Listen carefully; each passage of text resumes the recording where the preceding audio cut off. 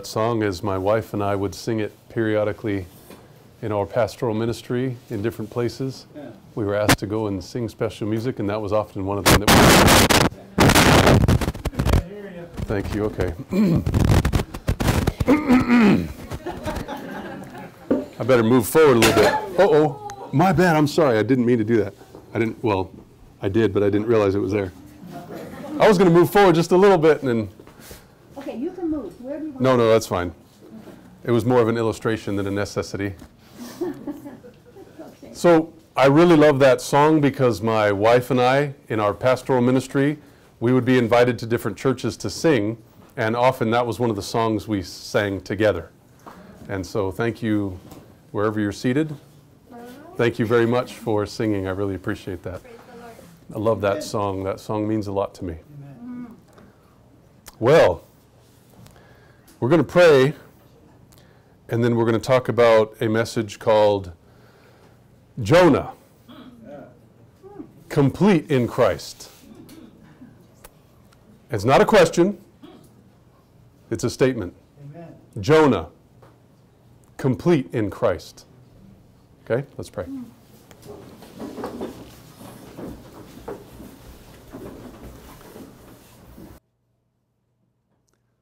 Our Father, we are thankful that you've given us this opportunity to be here together. We give you praise that you have called us to understand a little bit more as a result of being together.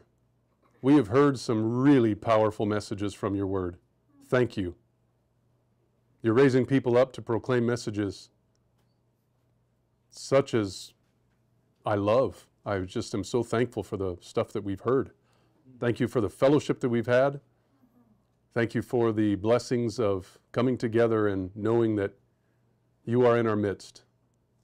We plead for your spirit. We beg of you to help us to understand a little bit more tonight. Thank you for Jonah. Thank you for your son, Jesus Christ. And bless us, we pray. In Jesus' name, amen.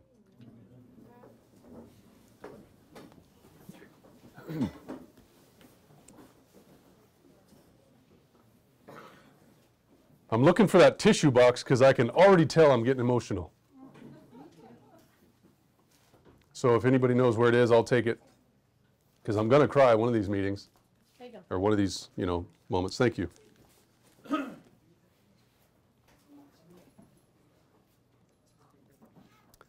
I've been a Christian for over 26 years. And I love it. I do. I do. I love it. You see, my background is that I was a heavy metal drummer in a band during my teenage years. I had much more hair then than I do now. I was a long haired, hippie, drugged up, in your face, fighting thief that slept with too many people. And uh, I know how to go back and do that. You know? I've said it so many times. I'm no fool. I know how to get sin. I could do it tonight. I don't want it. No. Amen. I want to be with my Lord. Amen.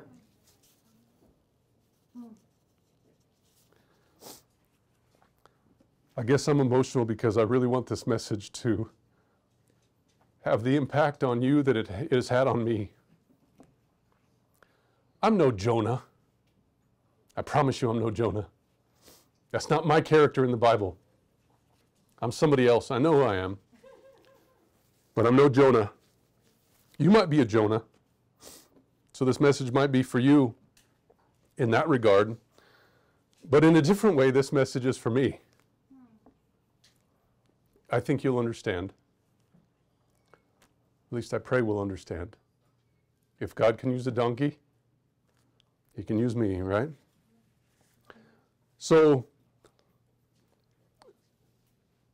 it was in South Dakota 26 years ago.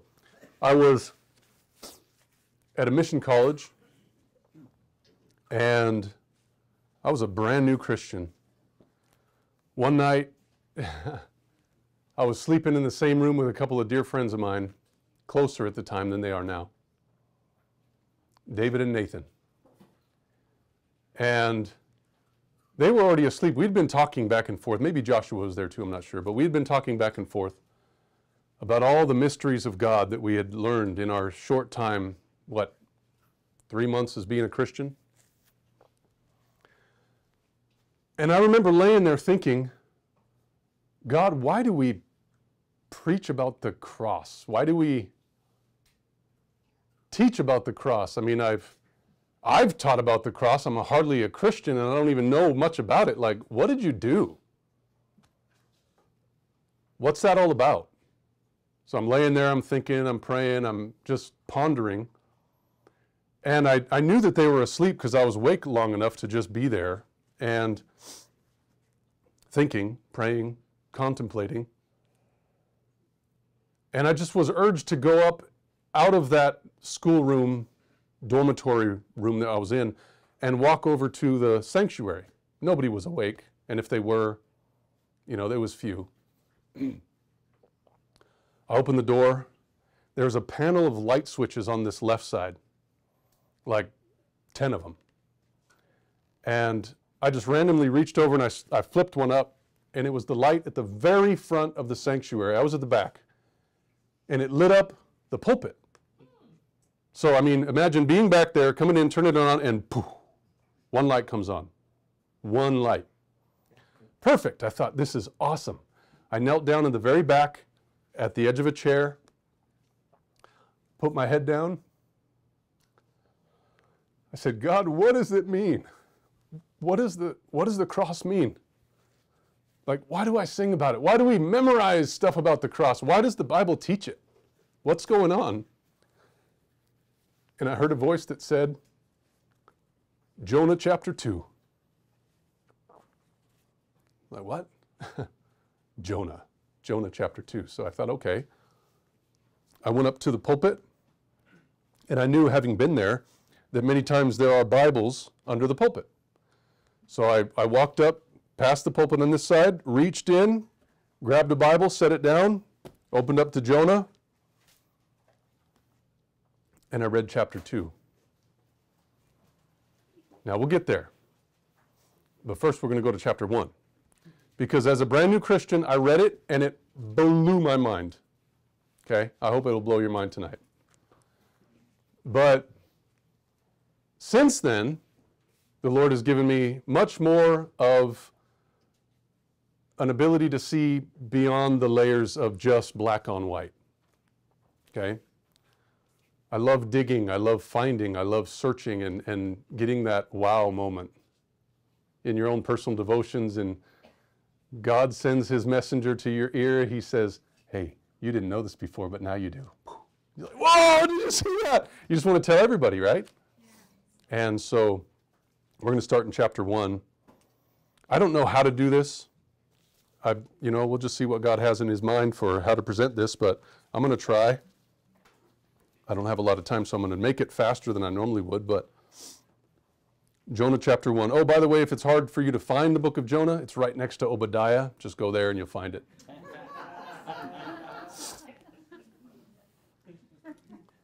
It says in verse 1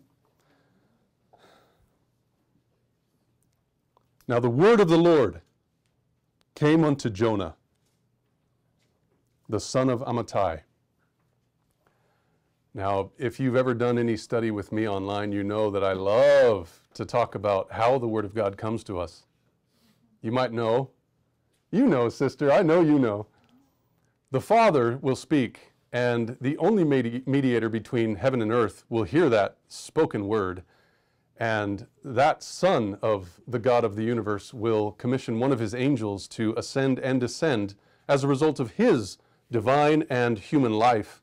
And that angel will come down revealing some secret to a prophet or to somebody like me. I am not a prophet, neither do I want to be. And that's what happened to Jonah. The word of the Lord came to Jonah.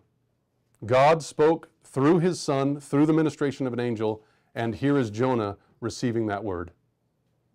It's all over the Bible, and if you've never seen that, please pray that God gives you the ability to see that because it's amazing. Anyways, there it is. You see the Father, the Son, and the ministration of the Holy Spirit, which are anybody who's filled with the Spirit willing to speak up on God's behalf. And Jonah, he received that word. And the word said in verse 2 Arise, go to Nineveh. By the way, Jonah, do you know what that means? His name? His name means dove. Yeah, the messenger of hope, right? Do you know what Amittai means? So, Jonah, the son of Amittai. Amittai actually means my truth, the dove of my truth. That's how this starts, right? The messenger of hope, because you know that little dove that flew out of Noah's ark and then came back with that leaf in his mouth. It was like, yes, something's going on. There's, there's hope out there. There's new life. There's a future. God has a plan. That's what all that means, that dove thing. Same thing with Christ inaugurated at the baptism. God has a plan, there's hope. You know, it's all there. So the word of the Lord came to the dove of my truth. Arise, go to Nineveh. Now, what, what is Nineveh? Nineveh, it's a place built right after Babel. Did you know that? Genesis chapter 10, you can read it for yourself. Genesis chapter 10, it says that Nimrod actually helped build Babel. And then as a result of building some other cities, there was one of those guys that came out of that city and built Nineveh. Ah, so the foundation of this entire place that God was sending this dove of my truth was a very pagan place. Oh, guess what? Nineveh is what? What kind of city? Ah, oh, you're right. It's a wicked city. But I'm thinking of something else. Pagan, yes, good. Something else. Huh? Ancient. Oh, there it is. Elohim. Nineveh is an Elohim city. Did you know that? Oh, you got to study it. Study it. Look at the word Elohim. It's used for judges. It's used for Moses. It's used for Nineveh. It's used for angels. It's used for humans. Look it up. So Nineveh is an Elohim city. What it means is really powerful. There was a woman who had Elohim wrestlings. I think it was a woman. I, th- I can't remember. Anyways, study it, you'll find it out. Really powerful. So, this is a really powerful city, but with the word Elohim in our comparison today, we're going to try to understand that that means that there's a false God on the premise. Okay? Bear with me. Go back to Nineveh in your mind, Babel, false gods, right? In fact, with the whole Nineveh, uh, Babel thing, there was uh, environmental crisis. There had been a flood, and there was going to be another something, and so they had to come together and build up a city to keep themselves from the next environmental crisis.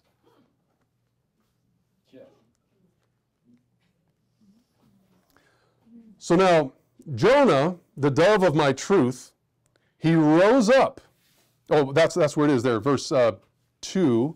Arise, go to Nineveh, that great city.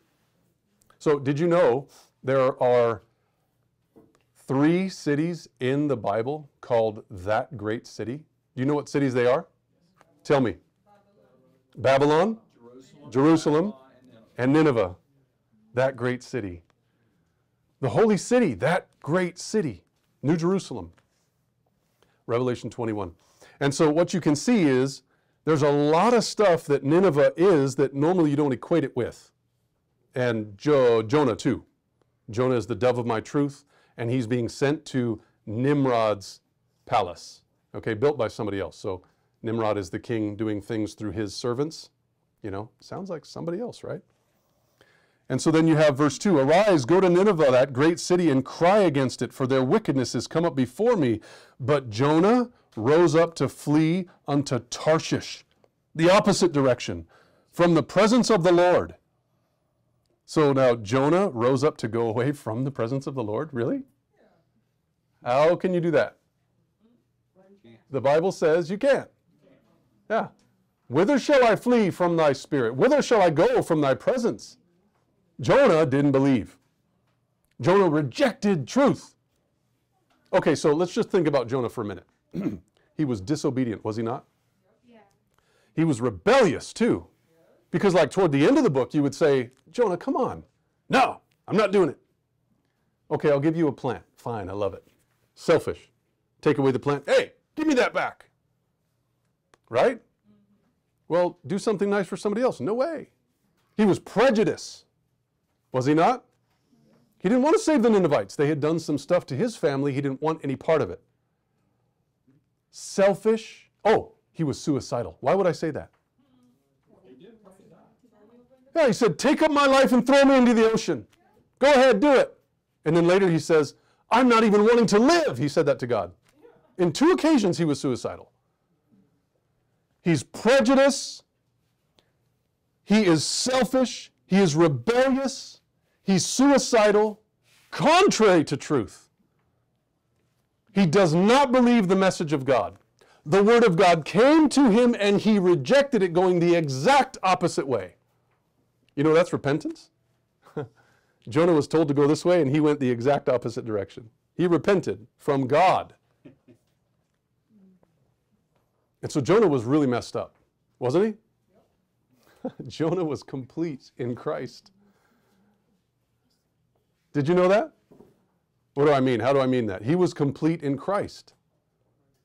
Well, because, like, watch, look, notice verse 1. The word of the Lord came to Jesus, the dove of God's truth. Okay, what is it? What do I mean? It says Jonah, not Jesus, right? I heard that in the back.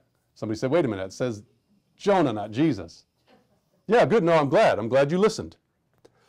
But the word of the Lord, which would be the God of heaven, came to his son named Jesus, the son of his truth, saying, Arise, my son, go to a very wicked place where there is a false God. Nimrod is the one who sends his servants out to build up his cities. Go to that great city, that very pagan city, and cry against it, my son of truth for their wickedness is come up before me. Okay, could you see that? Could you see the father saying that to his son? All of it, every single word, except completely flipped. Why? Because Jonah is not complete by himself, he's complete in Christ. So let's continue. Jonah, in verse 3, he rose up from the throne, laid off his kingly garments, including his crown, and what did he do? He fled from the presence of the Lord. He was in the very presence of God. And he left the throne of God to come to Nineveh, where you live. You live in a very wicked place. You know that. Just look outside. Jesus dwelt on our soil. It's amazing to me. It says there in verse 3 Jesus or Jonah rose up to flee from the presence of the Lord. He went down. Did Jesus go down? Did Jonah go down? Yeah. Jonah went down to Joppa. There he found a ship. Did Jesus find a ship? Was he like ever on a ship?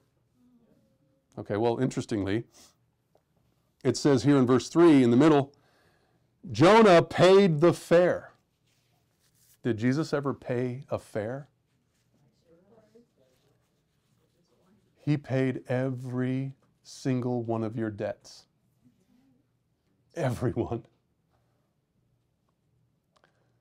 Every one of our debts, including Jonah. You know, the selfish guy that was suicidal? He was contrary, he was rebellious, selfish, proud, unbelieving. Now it says in the midst of verse 3 there, He went down. No, notice first, he went down to Joppa. He found a ship. He paid the fare and went down into it. Did Jesus ever take a step down? Did he take a step down? Did he take a step down? Did he keep going down and just humble himself even unto death? If you haven't seen the depths of John chapter 13, where it's talking about Jesus washing the feet, if you think he was just washing the feet, you haven't looked deep enough. That is not Jesus just washing feet. I understand we're going to have a uh, communion service here, is that right? We need to understand a little bit more about that. Because it's not just washing feet, that goes deep. Anyways, he keeps going down. He paid the fare thereof, and he went down with them unto Tarshish. What does it say? From the presence of the Lord. Was he, when he left Jesus, when he left heaven, did he go from the presence of the Lord? After Jesus went down and then down again, did he again leave the presence of the Lord? What did he say? My God, why have you forsaken me? I mean, Jesus did all this. No, but Jonah's different, you see, because when he was in the, when he was in the ship, he fell asleep. Wait a minute. When Jesus was in the ship, he fell asleep too. And you can read it right there. It says in verse 5 Then the mariners, they were afraid and cried every one unto his God. Why? Because everybody has a God around here, right? This earth, Nineveh? You kidding me? They cast forth their wares, just like it will be at the end of time. You can read it in the, the small books of the uh, end of the Old Testament. Their wares will mean nothing. They will cry unto their gods, and they're not going to save them. It says they wanted to lighten the ship, but, but Jonah was gone down. This is the third time it says Jonah went down. Jesus left the throne, he became a baby. He left his church, he left his everything. He humbled himself before the cross, then he went onto the cross. He humbled himself even unto death. I mean, this is a picture of Jesus. And it says there that he was gone down into the sides of the ship and he lay and was fast asleep. Well, the shipmaster came to him and said, What meanest thou, O sleeper? Arise, call upon your God, if so be that God will think upon us that we perish not. Didn't Peter say that same thing? So why are you sleeping? Rise up, we're going to die. Don't you care that we're perishing? Wait a minute. Jonah left, Jesus left. Jesus paid a fare, Jonah paid a fare. They both ended up in a ship. They both left the presence of the Lord. They both went down and down and down. It says in verse 7 They said every one of them to their fellow, Come, let us cast lots, that we may know whose cause this evil is upon us. For whose cause? So they cast lots, and the lot fell upon Jesus. All the trouble in this world is because of Jesus. Go all the way back and think about it. Who was the one that caused the problem? You say Satan. Really, it was Jesus. He was the Son of God.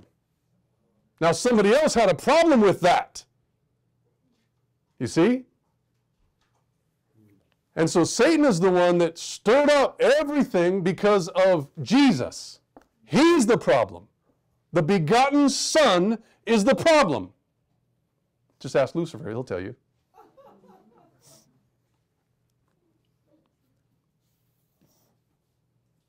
So the lot fell upon this character named Jonah. So contrary to God's will, but complete in Christ. It says there in verse 8 Then said they unto him, Tell us, we pray thee, just like they asked Jesus, For whose cause this evil is upon us? Like, tell us, like, why is all this stuff happening? Jesus will tell you. What is your occupation? Jesus would tell you, I came to seek and save that which is lost. Where did you come from? My kingdom is not from here. What is your country? Oh, it's a beautiful place. And of what people art thou? Well, we're, we're deity.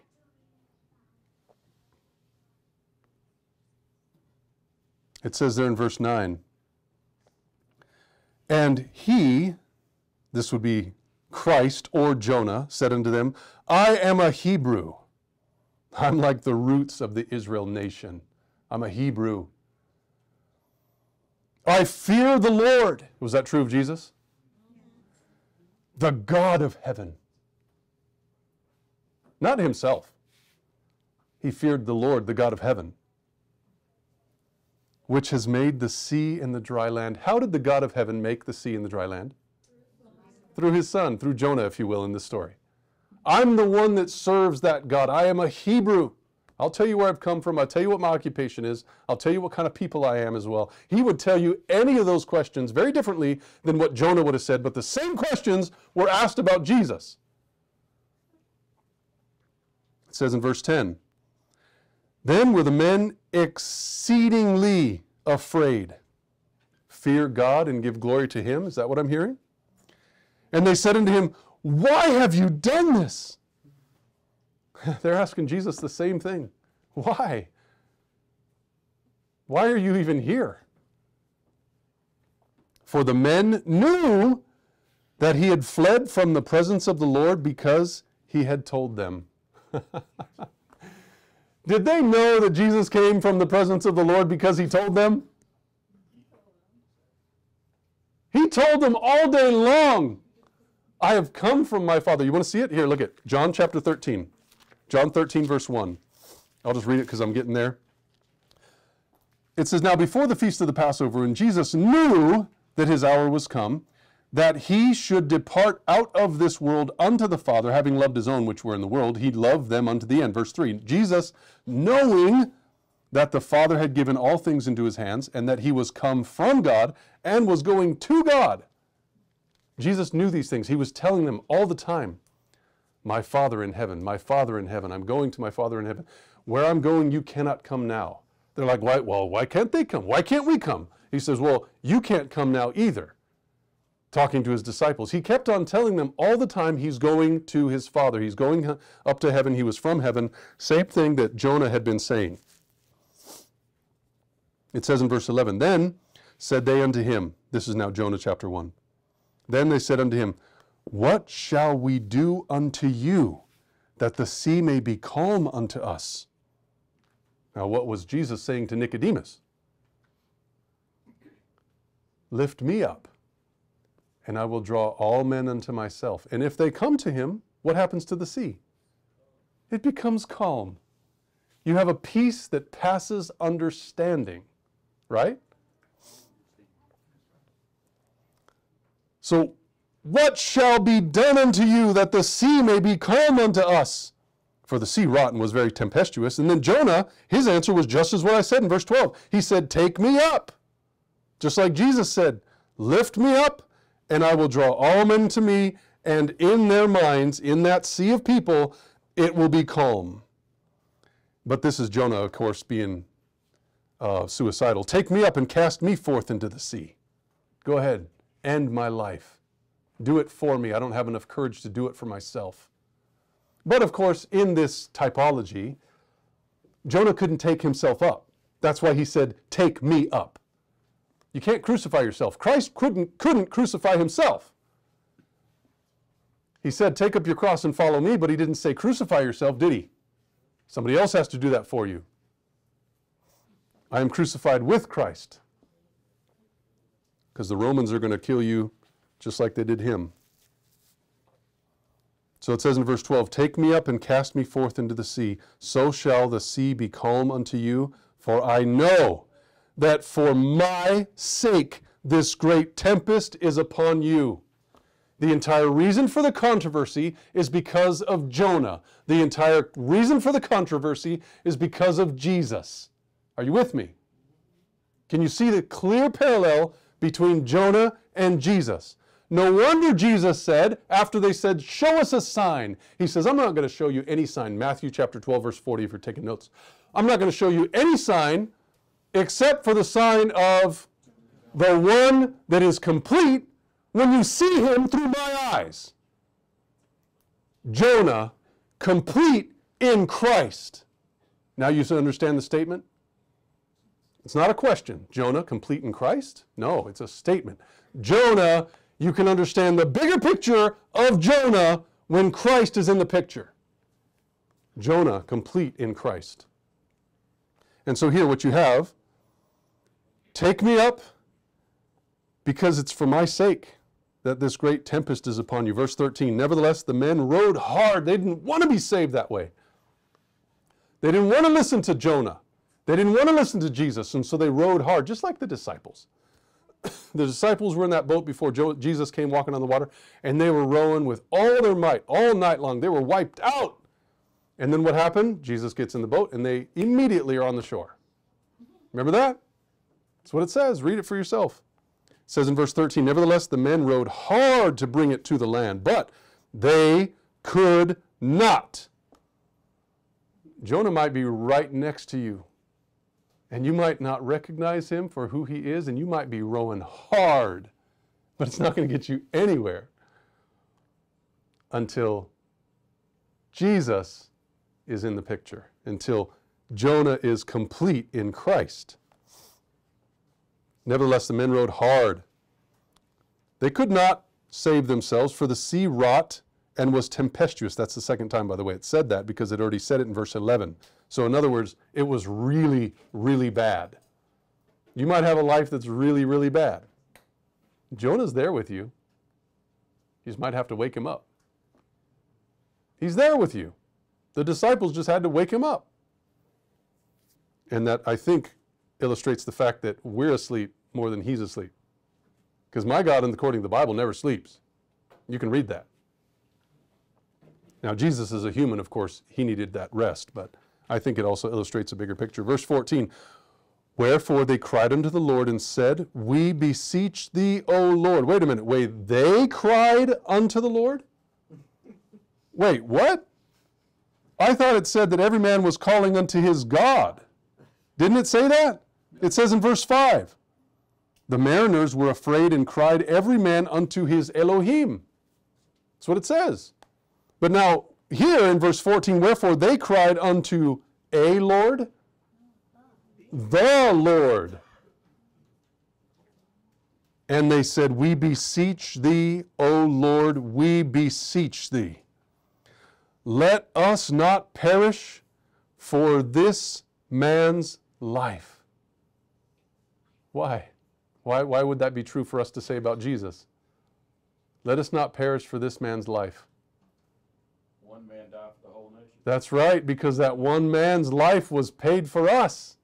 We don't want to pay for his life. He paid for us so we don't have to. You see?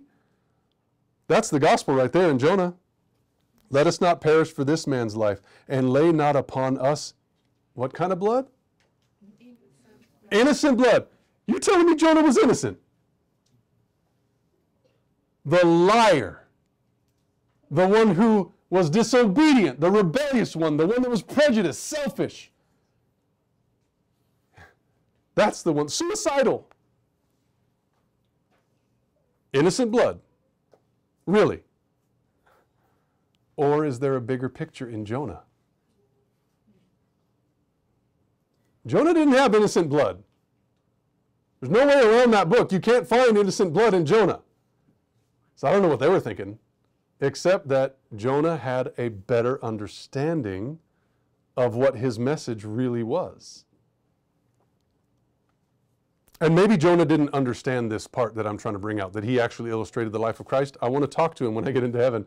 Jonah, come on, man. What was that about? Innocent blood, really? He's going to say, no, no, no, no, no. There was a layer deeper than that. Let me tell you all about it and we're going to be like, whoa. so it says there in verse 14 toward the middle. Lay not upon us innocent blood, for thou, O Lord, hast done as it pleased thee. You know, Christ was offered for our sake out of the pleasure of his Father. The Bible talks about that. I don't remember the exact words. I can't, I can't quote the thought. Maybe you can help me, but say again. It pleased the Father to bruise him. Thank you, Thomas. Hebrews 3, you say? Isaiah three. Isaiah 53, thank you. Yeah, yeah, yeah, there it is. It pleased the Father to bruise him. And so it was the pleasure of the Father that Jonah would give his life for the other mariners in the boat. It pleased the Father to give his Son for anybody who wants to be in the boat. It says in verse 15, so they, it says in verse 15, so they took up Jonah and they cast him forth into the sea, and the sea ceased from her raging. So everybody who believed the words of Jonah received peace. They received calm, a peace that passes understanding. Imagine the raging waters. It mentioned twice it was tempestuous. It was raging, and then all of a sudden they throw him, they pick, take him up, as it says, they took up Jonah. Now Jonah is higher than them. They killed him, cast him forth, cast your bread upon the waters, and the sea ceased. They had a peace that they could not understand. You see that? They, how, how would they explain that? Okay, wait a minute. We took up Jonah, we threw him into the water, and now it's calm. How do you explain that? A peace that passes understanding. It says in verse 16, Then the men feared the Lord exceedingly. It was reformation. And they offered a sacrifice unto a God, unto the Lord. And they made vows. They literally committed their lives to God. As a result of Jonah. Jonah, remember Jonah? Jonah is like the worst possible specimen that could be found to represent Jesus for the Ninevites. Like, God, can't you find somebody else? Somebody who believes? Somebody who cares? Somebody who doesn't go the other direction? Somebody who actually knows that you are with them at all times? You know everything. He's not selfish. He's not prejudiced. Couldn't you find somebody else? No, no, no. God wanted to use Jonah. God wanted to use Jonah to give people like me hope. I'm not a Jonah because I haven't turned away from God's voice. When He called me, I went and I went fast. I went as fast as I can go and I keep on going. And I don't want to stop. But just like you, my life's a wreck. You want to hear about my background? I told you about my background. I don't even tell some of the stuff that I went through because it's too shameful. And God can use me to represent His Son. And it doesn't matter where you've been. It doesn't matter if you've been suicidal like I have. I was suicidal as a pastor, friends. I was ready to kill myself as a Seventh day Adventist pastor. I have done the deeds contrary to God's law, shamefully. But God has called me, and I'm willing to be that representative. What about you? Doesn't matter where you've been. Doesn't matter where you've been. Look at Jonah. He was a wreck. and I can't tell you yet how God used him so amazingly to represent his son when he was so contrary to God's will. I don't know how to explain that, but it's true. Do you know Jesus told the story of the unjust judge to represent his father? Do you know that? The unjust judge. What is a judge supposed to be? He was exactly what he shouldn't be. He was the unjust judge. And he's, he told that story to represent his father. He's telling you the story of Jonah to represent his son when he's an unjust judge. He's a not for profit prophet. if you understand what I'm saying. Excuse me. So it says there in verse 17, Jonah chapter 1 now, the Lord, the God of heaven, had prepared a great fish to swallow up Jonah. The only sign I'm going to give you, let's read it. Matthew chapter 12. Keep your finger there. Matthew chapter 12.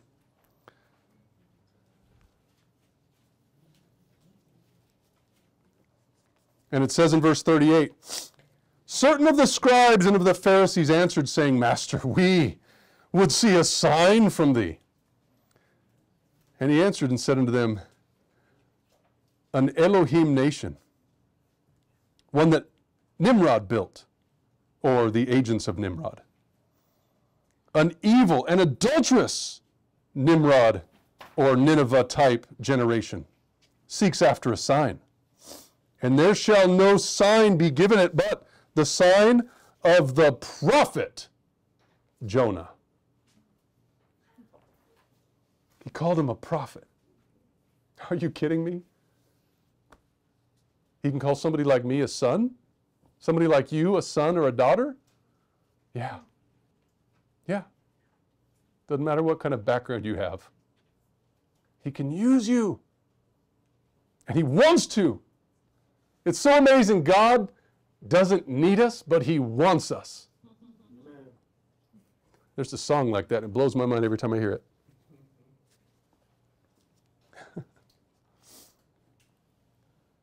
so it says there, there's no going to be no sign given unto you but the sign of the prophet Jonah. Verse 40. As Jonah was three days and three nights in the heart of the earth. Oh, sorry. Yeah, in the heart of the earth. Wait, did I miss something? Yeah. Verse 40 As Jonah was three days and three nights in the whale's belly, so shall the Son of Man be three days and three nights in the heart of the earth. Jesus, what do you mean? Well, I'll tell you partly what he means. There's, uh, where is it? That other part. Oh, yeah. Matthew chapter 12, real quick, talks about David at the beginning. David was a who? He was a he was a king, but oh, sorry, he talks about the priests in the temple. Sorry, my bad. Priests in the temple in verse 5.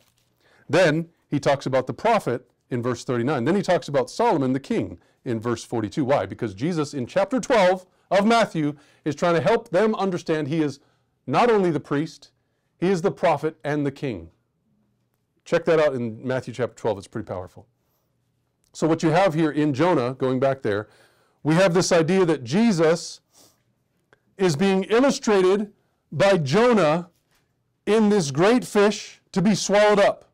And it says there in verse 17 toward the end Jonah was in the belly of the fish three days and three nights. Now, why did Jesus say there's going to be no sign given unto you except the prophet Jonah? Because Jesus understood that the entire message, the entire book of Jonah, illustrated his life. So contrarily, if that's a word. Because Jonah was not, as far as I can tell, written on paper, Jonah was not a Christian. Not the kind that I would want to hang out with. Hey man, you want to sing like scripture songs together? No, sir. Going going this way. Hey man, you want to go witness together? No way. I don't I don't like those people. Hey man, would you give me a little of that shade? Nope, that's mine. You know what I mean? Like, I don't want to hang out with Jonah. But Jesus called him a prophet because this story, flipped on its head, shows us that Jonah is complete in Christ. Because without the story of Christ, how would you say, stamped on the top of Jonah, we can't understand that book. It's just a crazy prophet that was thrown into a fish. And then there's like this radical reformation, which you can apply to Pentecost, by the way. I won't get there tonight, but that's how to go there in chapter 3 and onward. But so in verse 2, this is, this is where I was standing at the pulpit. I opened up my Bible to Jonah chapter 2 and I started reading. And I'll tell you, God spoke to me that night. He showed me Jonah represents Jesus. Like, I asked God that night, what is the cross? What is that all about? He sent, he sent me to Jonah chapter 2. Really? I, have never been the same. I told him, I told people the next day, man, you got to see Jonah. You got to see Jonah. Look at Jonah chapter 2. They're like, dude, we got to go to Sabbath school. It was Friday night. I'm like, I know we got to go to Sabbath school. You don't got time for Jonah? No, we don't have time for Jonah. I got to put on my tie. Are you serious? Come on, man, look at Jonah. And nobody would hear me out that day. Like, few would even give me the time. I was so excited about Jonah. And they weren't picking up what I was throwing down. I didn't care. I was telling everybody, anyways. The very first sermon I ever preached in the Seventh day Adventist Church was this chapter. I called it the first sermon God preached to me and guess who was in that audience? My father, an alcoholic as long as I could know. Three months before he died, he called me and wanted me to baptize him. Yeah. He died 12 hours before I would have baptized him. But I believe that he's going to be there. And I'm not just saying that because he's my dad. He had a heart for God. I believe it. I really do. It was thorny as a rose bush, but he wanted to know, like Jonah. Anyways, in verse 1 of chapter 2, just like Jesus, Jonah prayed unto the Lord his God out of the fish's belly. Now, I can't go into all the details, but I'm just going to say it for you, okay? when Jesus was in the Garden of Gethsemane walking with his disciples, and he started getting heavy and he needed their help, and he said, My soul is exceeding sorrowful, even to death. That's when he entered into the fish.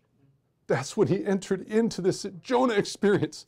It was Thursday night, and it was three days and three nights that he was in the belly of the earth. The earth represents you, friends, and it was your sin that was upon my Savior. And that's when he entered in. And I'll tell you, he was three days and three nights there, and it was forever for him, just like it was forever for Jonah. He didn't know how long he was there. It was three days and three nights, but you couldn't ask Jonah after he got out, how long were you there? Oh, three days and three nights. It was like, no problem. It says, you'll read it, he was there forever. He didn't know. Jesus was in that fish, and he couldn't see past the portals of the tomb. For you, And for all those sinners out there that don't know, every single one of them, it doesn't matter their past. This is the gospel, friends. It's in the book of Jonah. Doesn't matter who you are, where you've been, God can use you. It says there in verse 2. Oh, by the way, Jesus cried out in the fish's belly. It was in Matthew chapter 26. And Jesus said, My God, my Father, my Father, if this cup could pass from me, please make it happen. Nevertheless, not my will, but yours be done. You've heard him say that. You've read it a thousand times. Did you know it was Jonah that was saying that first? It says in verse 2. Well, maybe David said it before him, but, anyways. And Jonah, Jesus cried, by reason of his affliction, he cried unto the Lord. And it says, He heard me. Out of the belly of hell cried Jesus, and God the Father heard his voice. Can you see it? It says in verse 3. Now think about this for a minute. There's a guy in history called William Beebe. I don't know, anybody know about William Beebe? Oh, I thought you raised your hand. I was going to say you're the second person I've ever met. Mm-hmm. He went the deepest into the ocean than anybody had ever gone before with a copper suit. Okay? And the pressures of the weight of the water around him made him very fearful. He wrote it out. He was extremely afraid. Because if one portion of the glass in front of his face would have cracked or broken, the shards of that glass would have pierced through his skull like a shotgun. He just would have been completely consumed because of the weight of the water around him. Let's go now to verse 3. You have cast me into the deep, in the midst of the seas, that's two, and the floods, that's three, compassed me about. All thy billows, that's four, and thy waves, that's five, have passed over me. Five different ways Jonah tried to express the potency of the water around him. Can you feel it? The deep, the seas, the floods, the billows, and the waves. He cannot express more. Like when God says something one time, he means it. When he says it twice, you better listen. Here, Jonah says five different ways he's talking about the same thing water. Can you imagine Jesus in the midst of your sin? He just feels like he's going to be crushed, absolutely crushed. And if there was one fracture in his character, it would have completely imploded him. He would have been gone forever. The risk of eternal loss.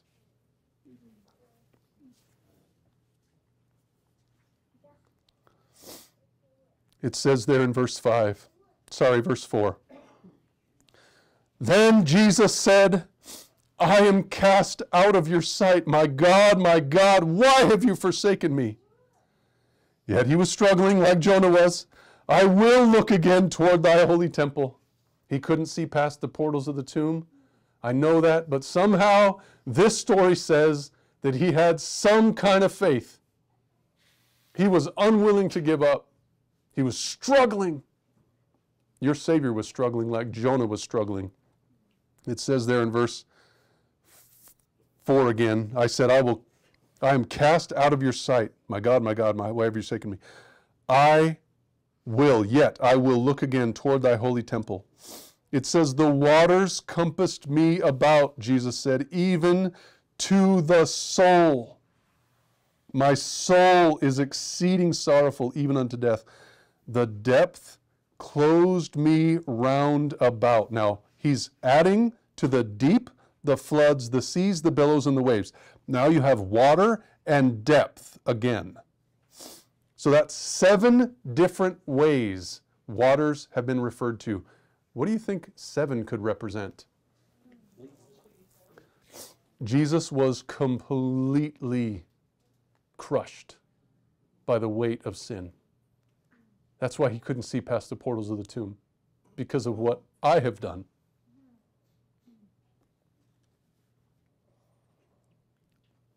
Verse 5 The waters compassed me about, even to the soul, the depth closed me round about.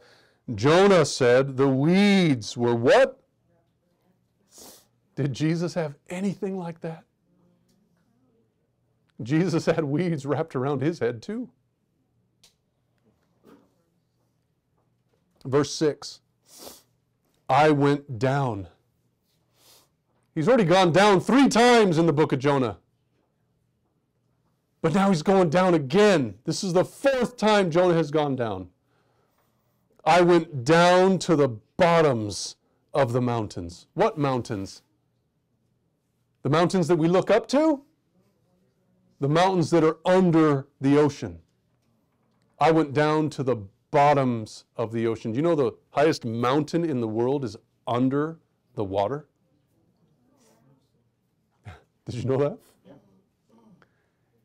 He went down as far as you could go. Jesus did. As far as you could go. You know when he was walking on the road to Emmaus and it's that road is actually going down in elevation. And it says, Jesus would have continued, but they bade him to come with them. Remember that?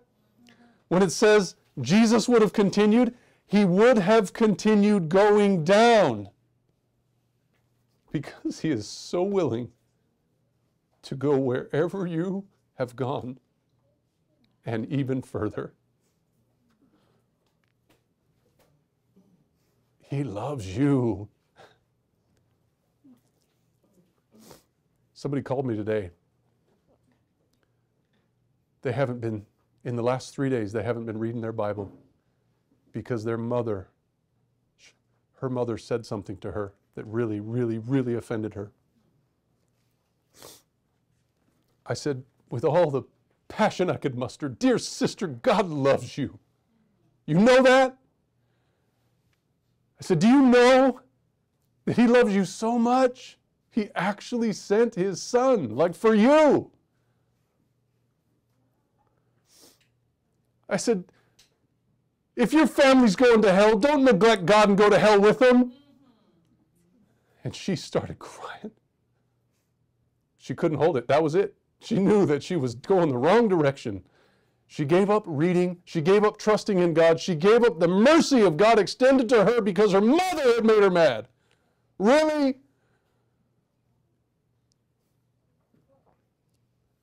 How shameful that the devil will make you do something so stupid. You're going to hell with those that are offensive because you were offended? No. No, no, no. Step up, friends. It's not worth it. It's not worth it. It doesn't matter what they've done to you. Don't, don't hold that grudge and go to hell with them. Jesus will go all the way down, all the way down. It says it right there. It says in verse 6 I went down to the bottoms of the mountains. The earth with her bars was about me how long? No, no, no, no. It's only three days and three nights, Jonah. Don't you get it? No, no, no. He couldn't see past the portals of the tomb. You can see it right there. The bars were about me forever. I couldn't see. I couldn't see. Jesus didn't know for you and for me. Oh, I wish we could get it. I wish I understood more. I can see it, but I just wish I could get it more. There's more. I know there is. And it says here in verse 6 again, toward the middle The earth with her bars was about me forever, yet thou hast brought my life up from corruption, O Lord my God. What does that mean? Where was Jesus at this point? Where? He was risen from the dead. You have brought up my life from corruption. Wait a minute. Acts chapter 2 says that he would not see corruption. There's a conflict there. I don't fully understand that yet, but I'm, I'm still learning. Maybe you've got some insight and you can share it with me, but that's what the Bible says.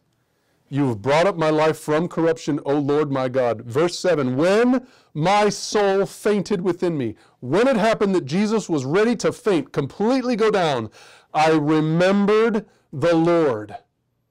That's why Jesus said, My God, no, sorry, my Father, into thy hands I commit my spirit. Because when, it says right there, when my soul fainted within me, I remembered the Lord. That's past tense, by the way. That's after he's resurrected. He can look back and say that. My prayer came in unto thee into thy holy temple, which is where? In heaven. And you know how prayers get up to heaven, don't you? Amen. Says verse 8 They that observe lying vanities, which in this case would be anybody who rejected Christ, I would say the Pharisees, the Sadducees, etc., they that observe lying vanities have forsaken their own mercy. Who was their mercy? Christ. And did they forsake him? Yes. Now, they observed lying vanities. What, what, could, what could that mean? Matthew chapter 15, verse 8 will tell you. In vain do they worship me, teaching for doctrine the commandments of men. Do we have anybody that does that today? Of course. They forsake their own mercy. But, verse 9, I will sacrifice unto you with the voice of thanksgiving. I will pay that that I have vowed. Now we're going back to the counsel between them both. You see, because the Father, he had to ask the Son, Are you willing to do this? Three times the Son went in before the Father. You remember all that, right? I will pay that that I have vowed. Jesus was willing to do it for you, for your son, for your daughter, for your mother, your everybody, anybody, your neighbor. It says there in verse nine, uh, 9 again, I'll read it. I will sacrifice unto thee with the voice of thanksgiving. I will pay that which I have vowed. Salvation is of the Lord. Now, if Jesus is speaking, who's he talking about? Salvation is of his Father. Because listen, if Christ isn't risen from the dead, you have how much hope? None, according to 1 Corinthians 15. And guess what? Who raised his Son from the dead? The Father, exactly. And so salvation is of my Father. So in verse 10, the Lord spake unto the fish, and it vomited Jonah upon the dry land. Jonah came out alive. Guess who else came out alive? Jesus came out alive. Why this is so emotional to me is just because I want the gospel to go to the Gentiles. I really do.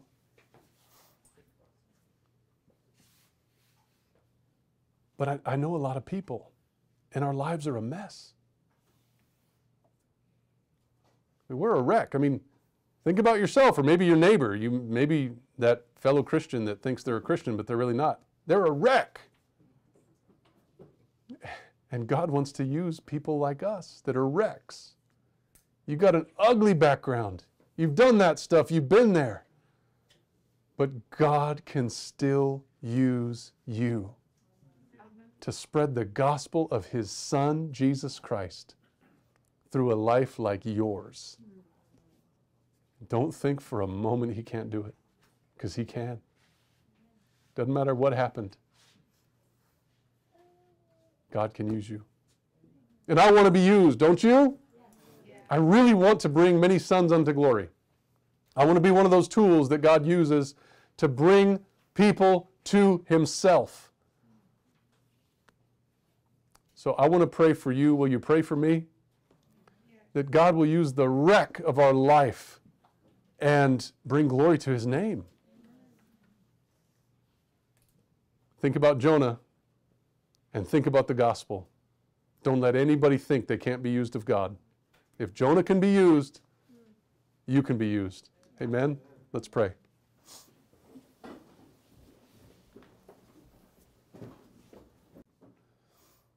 Our Father in heaven, I want to thank you that you've given us this opportunity to learn a little bit more from the book of Jonah and,